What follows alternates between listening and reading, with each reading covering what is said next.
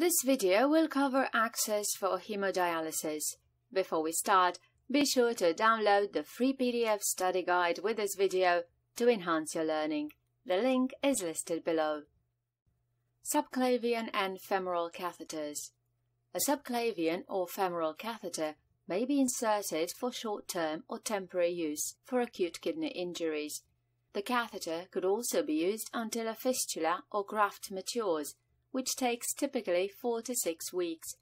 A catheter may also be required when the patient's fistula or graft access has failed because of infection or clotting. Interventions include assessing the insertion site for hematoma, bleeding, catheter dislodgement and infection. Remember that these catheters should only be used for dialysis treatments and accessed by dialysis personnel only. For infection control purposes, it is important to maintain an occlusive dressing over the catheter insertion site. A subclavian vein catheter. A subclavian catheter is usually filled with heparin and capped to maintain patency between dialysis treatments. Heparin is later aspirated from the line before dialysis. For infection control reasons, the catheter should not be uncapped except for dialysis treatments. A femoral vein catheter. Interventions for a femoral vein catheter include assessing the extremity for circulation, temperature, and pulses, prevent pulling or disconnecting the catheter during treatment, avoid kinks or occlusions, let the patient know that they should not sit up more than 45 degrees or lean forward during treatment. Now, if a catheter is located on the groin area, what do you think would be the number one concern? The number one concern is infection. Because the groin is not a clean site, meticulous perineal care is required. An external arteriovenous shunt. An external arteriovenous shunt are two cannulas surgically inserted into an artery and vein in the forearm or leg to form an external blood path. When dialysis is complete, the cannulas are clamped and reattached, forming a U-shape. Let's go over the pros and cons of an external arteriovenous shunt, starting with the pros. The external arteriovenous shunt can be used immediately once placed, and no venipuncture is necessary for dialysis. Now, with the cons, there is a risk of disconnection or dislodgement of the external shunt. Also, there is a risk of hemorrhage, infection, or clotting. Let's talk about the important nursing actions of an external arteriovenous shunt. Interventions include making sure to avoid getting the shunt wet, wrapping a dressing completely around the shunt, keeping it dry and intact, keeping cannula clamps at the patient's bedside in case of accidental disconnection, educated the client that the shunt extremity should not be used for monitoring BP, drawing blood, placing IV lines, or administering injections because this will cause damage. Monitoring skin integrity around the insertion site to make sure there are no signs of infection. Now, if there are any signs of clotting, hemorrhage, or infection occurring, notify the provider immediately. Signs of clotting. There are many signs of clotting when checking the tubes of the shunt. Signs would be white flecks due to the fibrin. Also, when there is a separation of serum and cells, this is also a sign of clotting. When auscultating the shunt, there would be an absence of a bruit as well as coolness of the extremity. An internal arteriovenous fistula. An internal arteriovenous fistula is a permanent access of choice for a patient with chronic kidney disease requiring lifelong dialysis. How is the fistula created? Well, the fistula is created surgically by anastomosis of a large artery and large vein in the arm. How it works is that the flow of arterial blood into the venous system causes the vein to become mature and large. Maturity takes about 4 to 6 weeks, depending on the patient's ability to do hand flexing exercises such as ball squeezing, which helps the fistula to mature. In order to use the fistula, it must be mature before it can be used, because the engorged vein is punctured with a large bore needle for the dialysis procedure. So what happens if the access is not yet mature? Then a subclavian or femoral catheter or an external arteriovenous shunt can be used for dialysis while the fistula is developing. Let's go over the pros and cons of an internal arteriovenous fistula, starting with the pros. The risk of clotting and bleeding is low because the fistula is internal. The fistula can be used multiple times. The fistula has a decreased incidence of infection because it is internal and is not exposed. Once healing has occurred, no external dressing is required.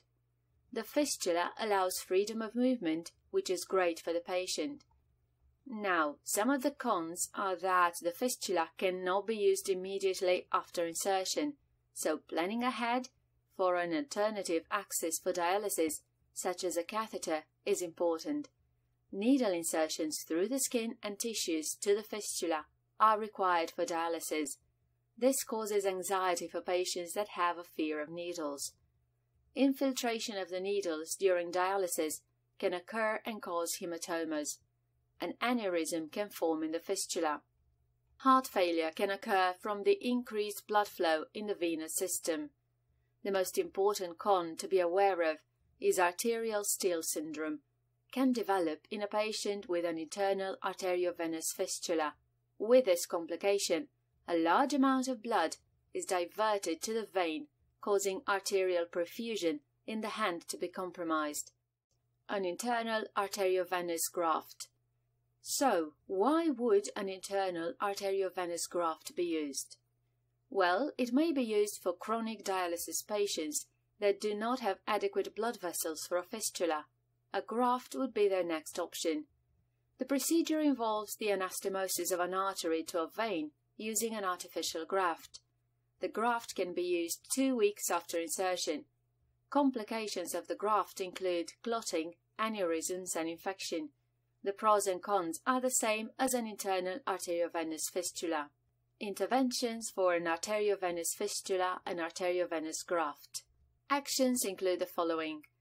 Educating the client that the extremity should not be used for monitoring BP, drawing blood, placing IV lines, or administering injections, and that the client should inform all healthcare personnel of its presence.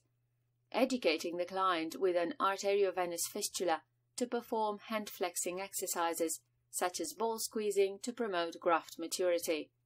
Monitoring the temperature and capillary refill of the extremity so that you can see whether there is good perfusion.